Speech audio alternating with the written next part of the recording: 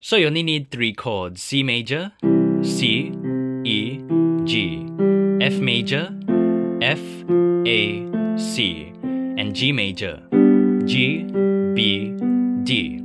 You play each chord for four counts. So there are four sections in this song, and each section there are four chords. The first one, write it down, is a C major, then G major, G major, then C major. Second one, C major, F major, C major, G major.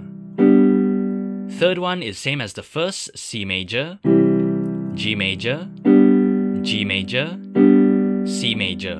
And the last one, C major, F major, G major, C major.